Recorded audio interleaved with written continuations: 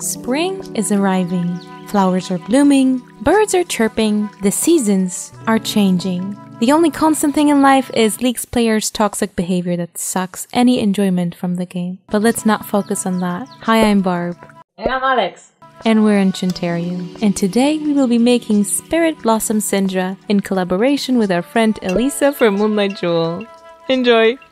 Since this outfit is nothing like anything I had in my pattern stash, I played around a lot with Matilda to prepare the patterns for the outfit, as I needed to have them to make all of the graphics for the vinyl cutting later. Here's a quick rundown of all of my prototypes that I made for this, because there's a lot of them. Sleeve, first try, very happy about that. Shirt, I think this is like the third prototype, because there was the drafted version, and then this version, and then this version, which I still think could use a little bit of full bust adjustment let's just say. Then the belt is a third version the first one was too short, this one was too tall, and this one's fine. Bow, first try, very good. The thingies that come off of this, zeroth try, I'm not even gonna try them. And the pants, I had to do a gathered design here, even though it doesn't look like it in the original, but it's a 3D model, so cut me some slack. And this is the third prototype. So I'm gonna sew most of these for the fourth time now.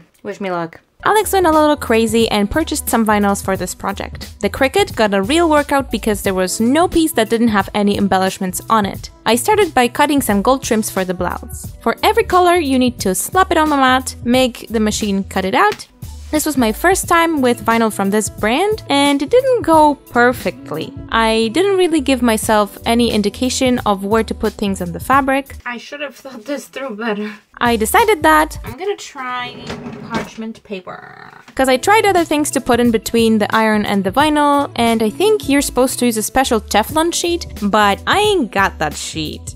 The parchment works surprisingly well. I tried doing what the instructions said, but the vinyl was quite the drama queen throughout the process. The first one came out great. It's so epic! Uh-oh, this one didn't stick. Yeah, it was messy. Probably my error though, lack of constant heat and pressure. I repressed the sleeves without the backing and as predicted, it changed the glossy texture of the vinyl. It stopped being so epic. It didn't turn out super perfect and I think that Nobody's gonna know. For the other part of the sleeve, I did bring out the big iron, and it was a mistake as big as said iron. Also, I started to sing the Jeopardy thank song and it distracted me, and I pressed it a bit too long, I think. Uh-oh.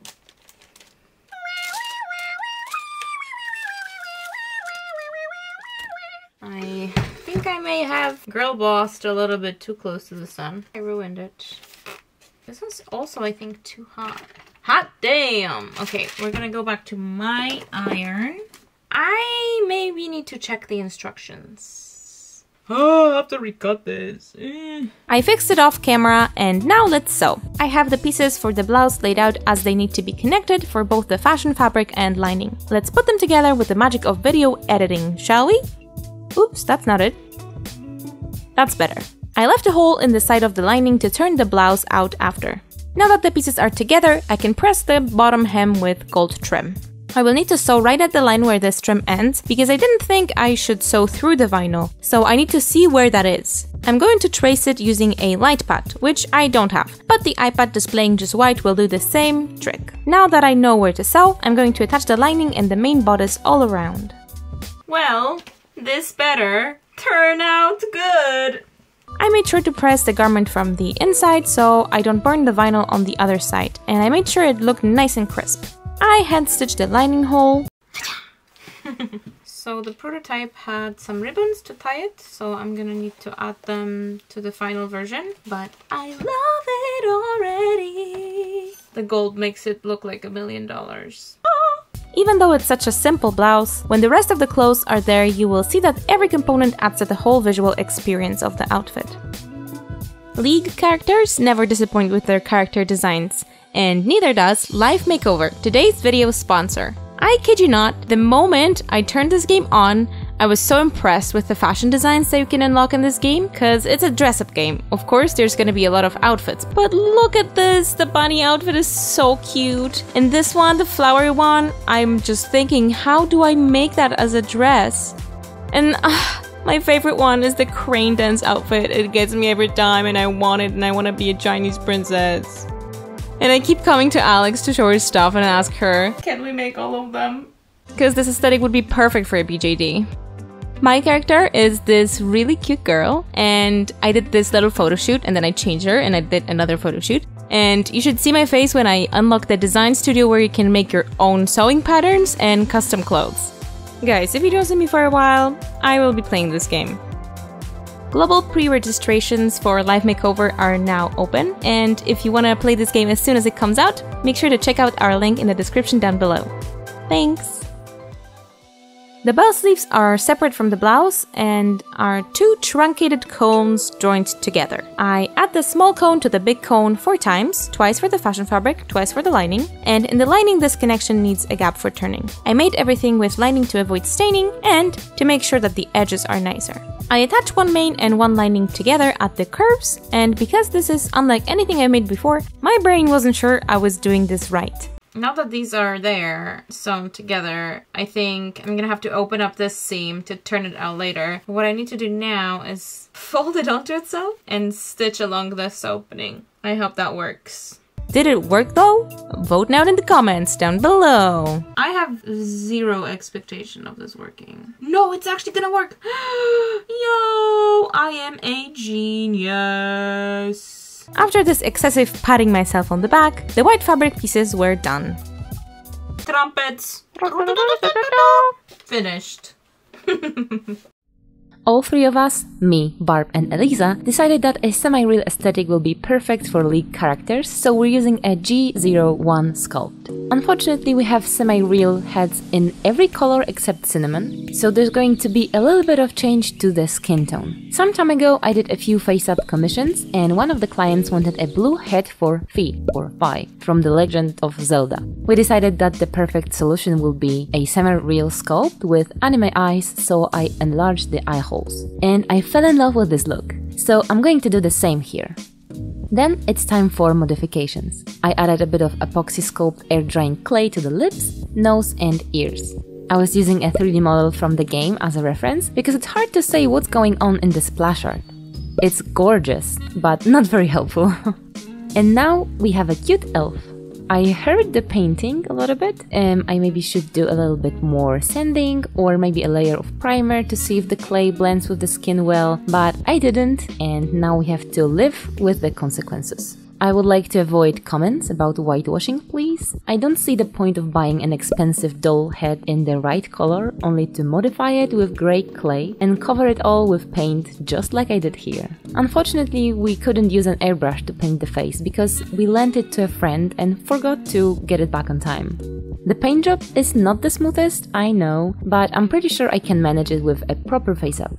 I'm starting with a few layers of varnish and then MSC for a good grip texture. Then it's time for some basic, some basic features like eye shape, eyebrows and color on the lips. When I like the sketch, I set it with MSC, wait 30 minutes for spray to dry and add more saturated and dark colors. On a painted head, the surface is taking the pigment like crazy. I would say too much even. Every mistake is visible.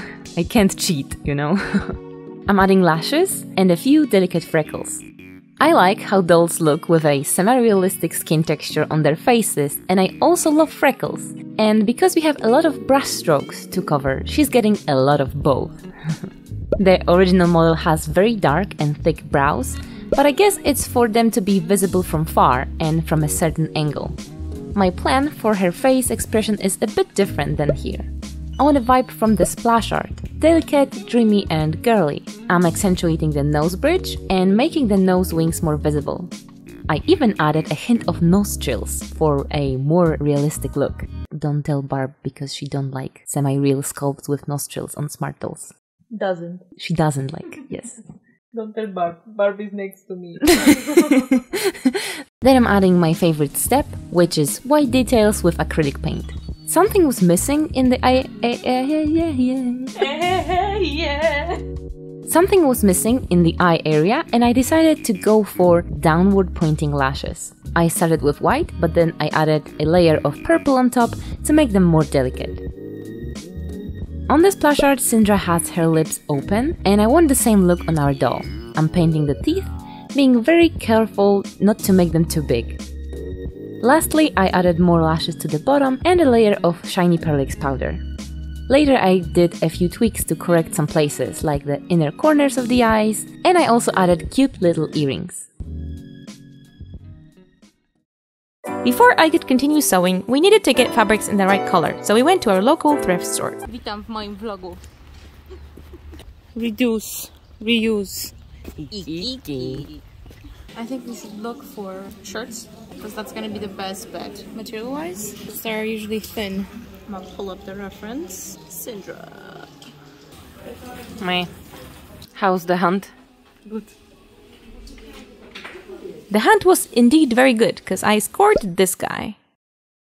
I would like to talk about an injustice because we paid 60 zloty for a small woman's blue shirt and 30 for a pink, very large men's shirt.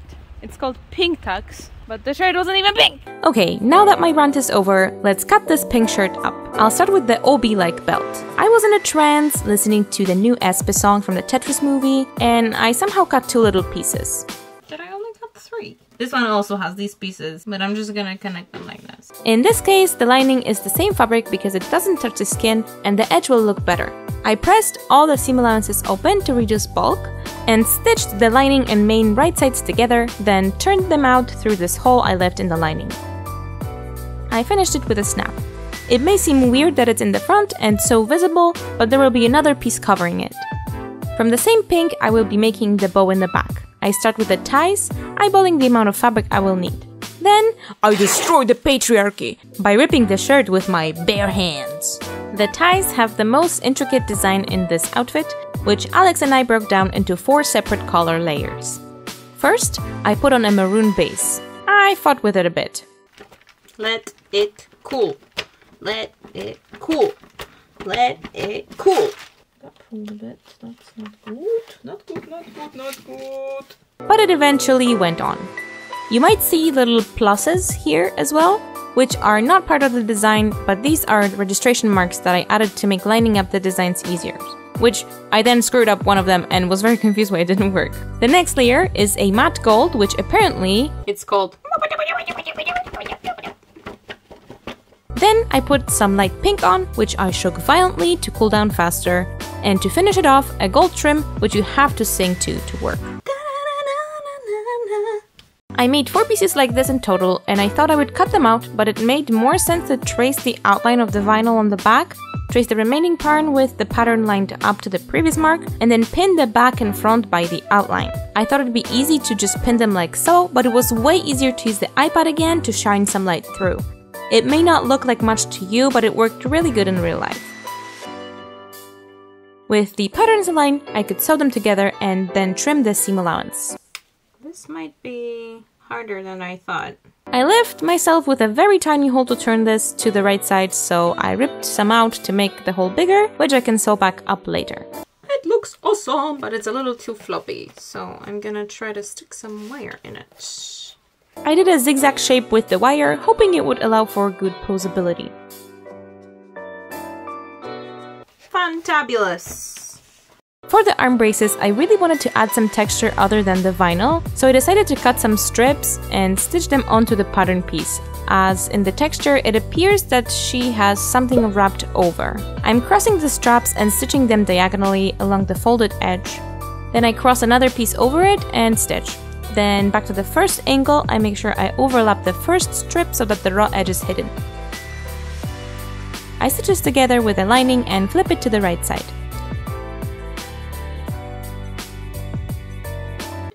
Calculations are correct, I should be able to now flip this like so. Come on. And if I won't be able to flip this out, I will be doing the flipping out. Brr. Ballets, ballets.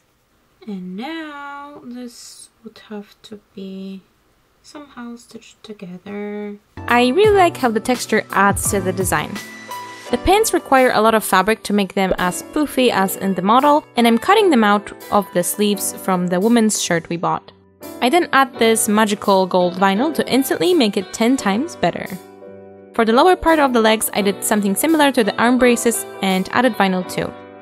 I can now stitch the calf pieces on one side. I then gather the bell-shaped pieces to attach them into one puffy pant leg.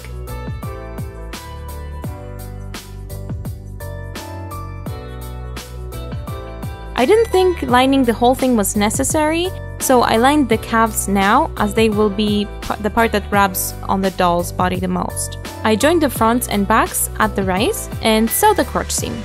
The lining fabric I chose was nice, thin, and skin colored, but it was fraying a lot. I could have overlooked this. Well, it is what it is. Very balloony. We like that. I think I need to undo this to line it. Shit! It needs to be right side to right side. So it should be possible. Alright, Margaret. Sorry, I'm really delusional at this point. The last step was to add the lining to finish the upper edge. It was late at night, but I was determined to finish this outfit because I was so close.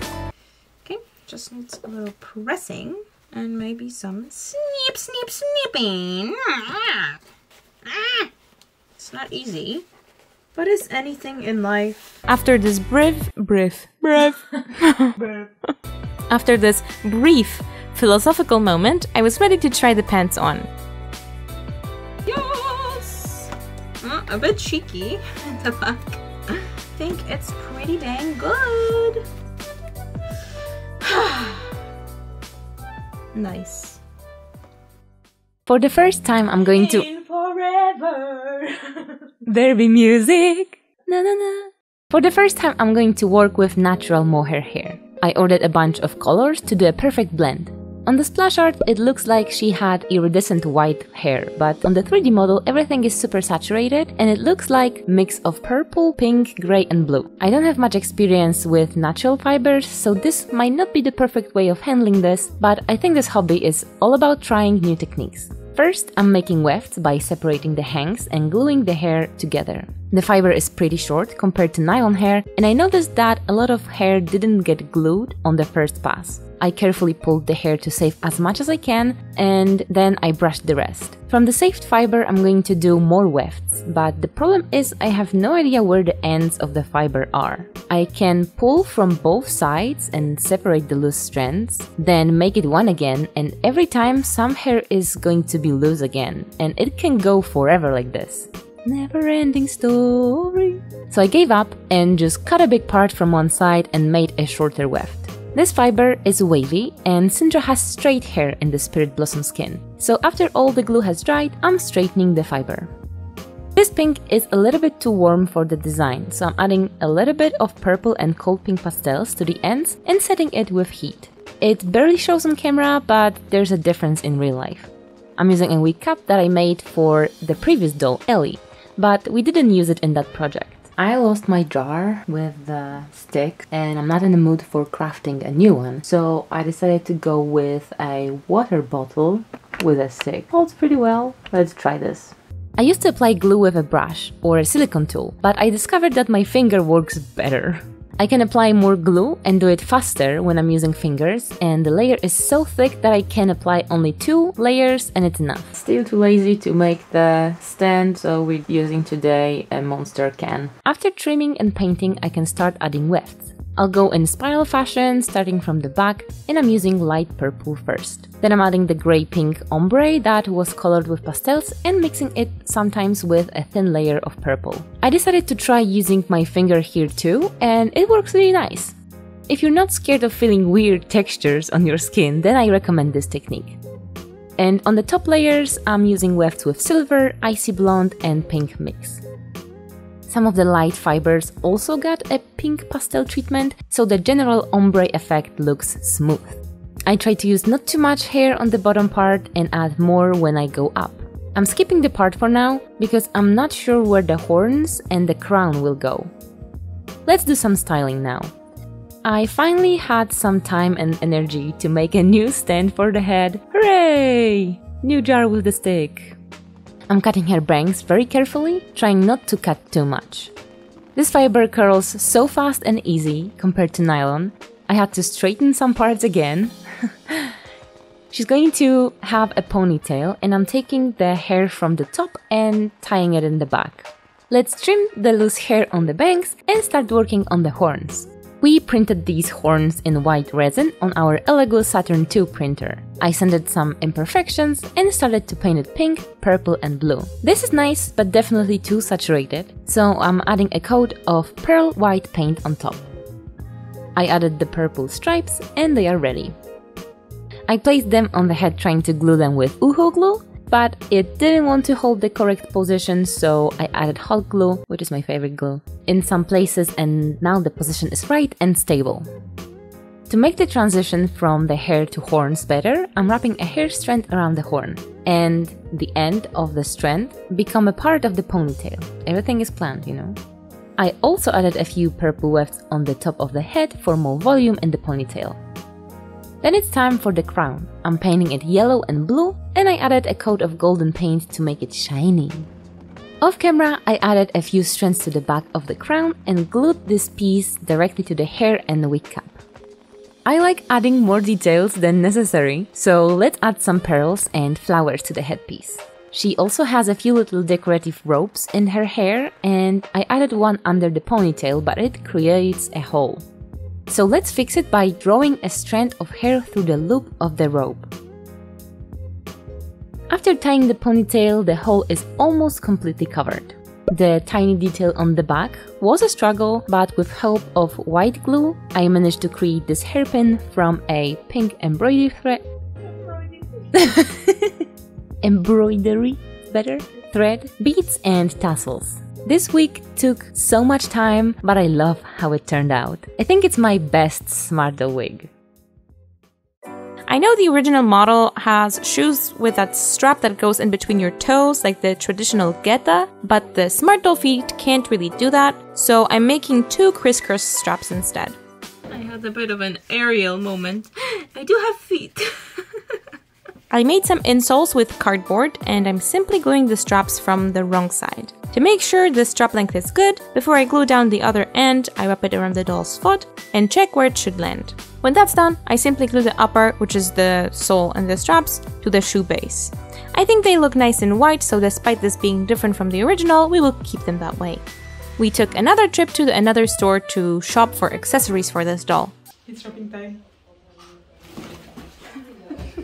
It's just heaven. Are you in heaven? Speechless. So many different beads and cords and wires and metal thingies. Będzie kraftowanie. Now it's time to put them to use. I will combine these tassels with a bead and a ring to add to the bottom of the bow ties. I made a hole with an eyelet to attach them together.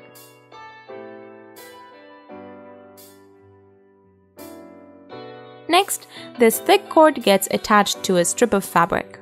I secure the ends with hot glue so it won't unravel, and another tassel decoration goes on the front of the belt.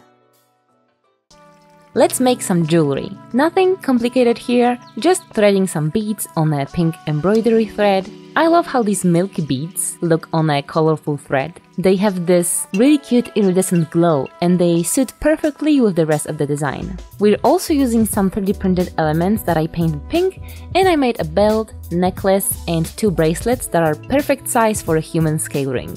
After making the jewelry, I spent hours on making the vinyl applications look better, even better than they are already.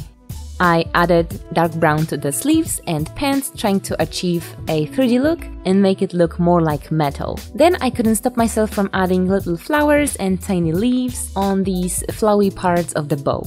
Sometimes this is my way of procrastinating. I'm avoiding important stuff like hair or face or editing, and I'm painting small decorations that are not even visible most of the time. But small details usually make a design so much better, in my opinion.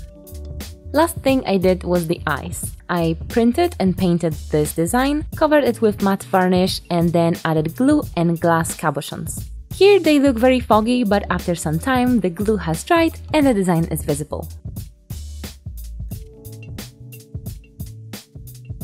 The last of the last parts that I did was these things. These really aren't sleeves, nor a vest. If you have a name to call it, let me know in the comments.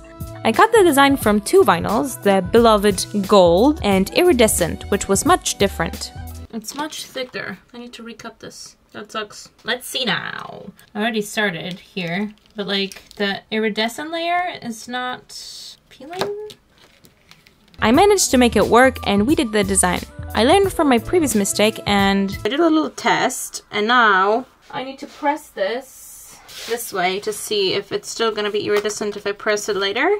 Okay, so this one doesn't take on texture as easily as the gold because it's much thicker. That's good. It's still gonna be sparkly. I pressed the iridescent layer on fine and spoke the words that would come back to bite me in the ear. This one sticks pretty quickly. I like working with it more than the gold. I tried layering the gold and Oh no! I did not foresee the fact that vinyl on vinyl sometimes doesn't stick, and this is the case. Yep. God damn it. I will need to recut this the third time, because I need to trim this off now. I can save the gold pieces though. It was going so great, but then this delaminated and I don't know what to do anymore. I don't want to recut it the third time. Ah, maybe you can just glue it. I did end up gluing it and the gold layer went on fine, so let's push forward. I traced the shape of the, I don't know, epaulets, what are we calling these again, onto some Worbla as I thought it'd be the best material for this. It cuts decently well with scissors. Then I went to put the vinyl onto the Worbla and realized something. This is a dramatic recreation. Whoa! I never can see it, but it glows in the dark. Anyway, with some UHU glue, I stuck the fabric to the Worbla and folded the edge under. Then I covered the wrong side with the first failed vinyl so that it didn't go to waste. Then I used my favorite mug, which I got from my boyfriend, to bend the Worbla into shape with a heat gun. I stuck it into the belt and the outfit was done.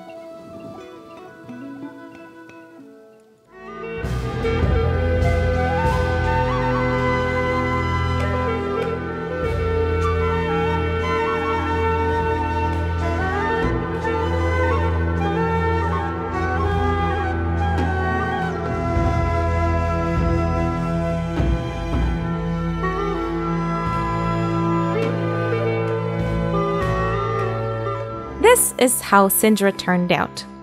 I love League of Legends characters. The designs are always on point, very well thought out, and the detail in them is just amazing. It's really easy to make a good looking doll from the League. I actually miss playing this game with my friends.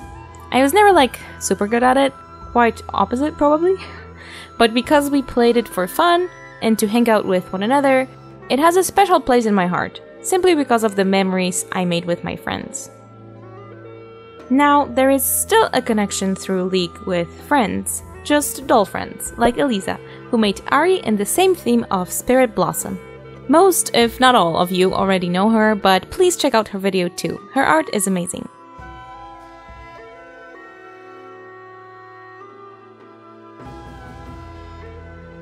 What is your favorite game to play with your friends? Give us some recommendations in the comments down below. Make sure to follow us on Instagram for some sneak peeks and subscribe for future videos. Have an enchanted day, and we'll see you next time. Bye! This video was made possible thanks to our Patreons. The biggest credit goes to our top Lost Sister tier supporters Erica Warren, Aaron McCoy, and Red X. We also thank our cousin tier patrons Genevieve Duflock, Amelia Blackwood, Andrea Brigidere, Ghostly Gardens, The Barbie Witch, Bowen, Anxious Kiddo 78, Inka, Stephanie, Tiffany Jeffords, Karaho, Landy Monk, Katie Baker, Karabu, Siv's Party, Dragonart Customs, Ninja Star Zeno, Victoria, Dream Up, and last but not least, Catherine Naughton. Thank you for your support, and we'll see you next time. Bye!